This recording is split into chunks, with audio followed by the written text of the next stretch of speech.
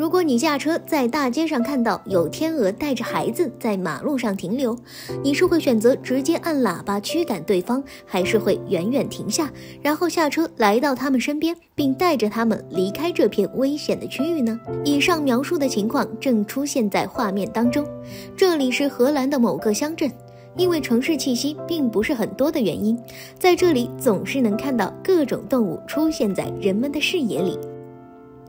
好在当地的居民都十分善良和友好，这才给小动物们一个较为舒适的生存环境。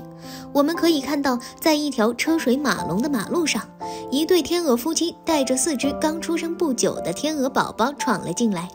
让人觉得惊讶的是，就在即将到达对面时，天鹅夫妇却直接停了下来，开始在马路中央逗留。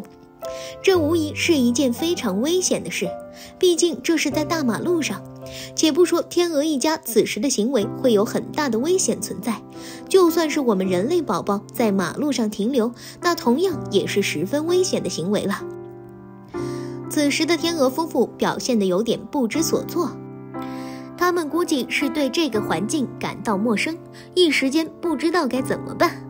这时，不远处驶来了一辆汽车，好在司机早早地看到了这一家子，于是慢慢地减速停了下来。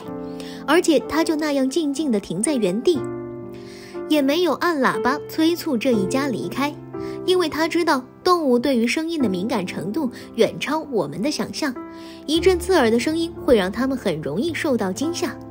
不得不说，这里的人们真的都太善良了，一个小小的举动足以证明司机师傅的温柔。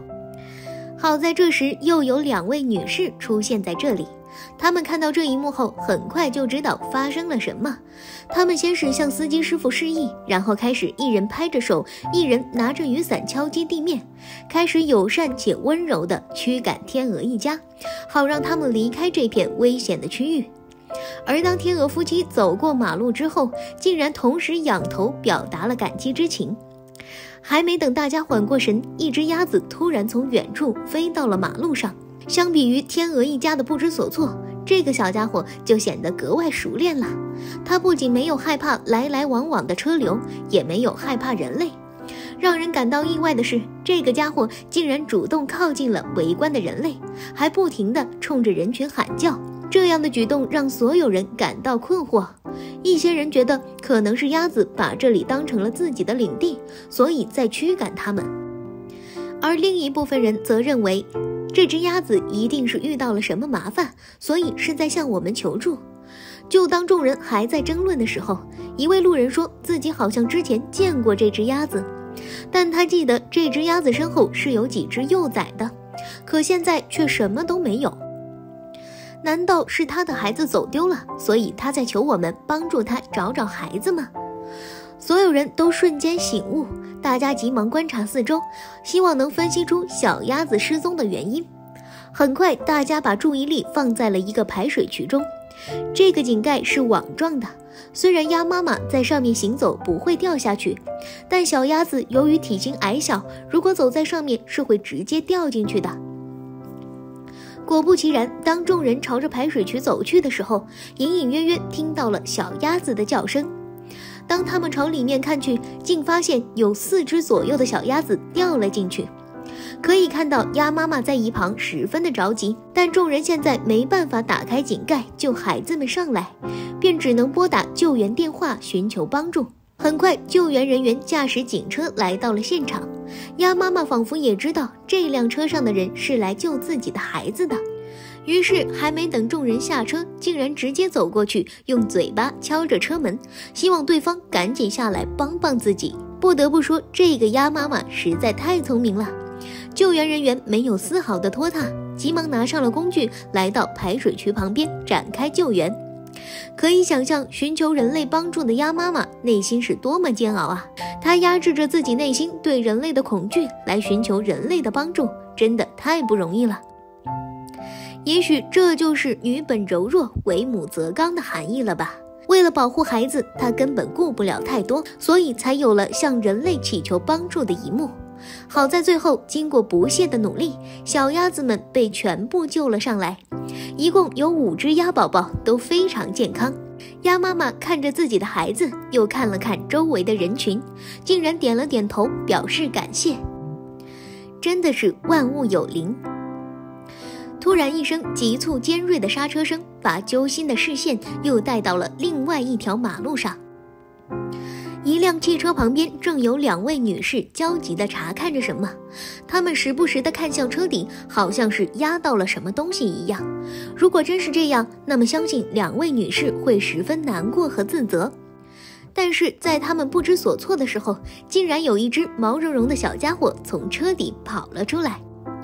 女士终于松了一口气，因为小家伙的生命并没有因为自己而葬送掉。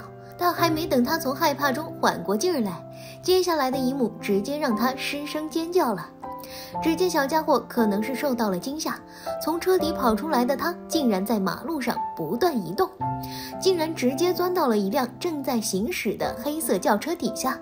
这一幕无疑让所有人都捏了一把汗，毕竟小家伙体型太小了，司机是很难在马路上发现他的。更别说小家伙这次是从侧面钻到黑色轿车底下，如果发生什么意外，那么小家伙的生命也就结束了。黑色轿车的车主很明显也被女士的尖叫声吓到了，好在对方及时做出了解释，车主听到后没有任何抱怨，甚至在听到可能是一只活泼的小鸭子后，表示自己不会轻易下车，因为担心踩到对方。所有人不敢怠慢，开始围着轿车驱赶下面的小鸭子，但小家伙实在太害怕了。此时的他认为只有车底下才是安全的，不管大家怎么努力，小家伙就是不愿意出来。马路上等候的汽车越来越多，救助的延长势必会加剧交通的拥堵，情况也迫在眉睫。三位热心救助者也在低头查看。一位男子拿着一个纸箱走了过来，他希望在小鸭子跑出来的时候迅速将其抓住，否则一旦再钻到行驶的车下就很危险了。此时，黑色轿车的后备箱突然打开了，司机也从后备箱拿出了一个高尔夫球杆前来帮忙。长时间的拥堵导致交警也过来查看情况，但他了解到事情的原因后，竟没有出手阻止这一行为。因为他知道这也是一条鲜活的生命，我们需要尊重每一条生命。面对这样的场景，所有人都被感动了，并开始了焦急的等待结果。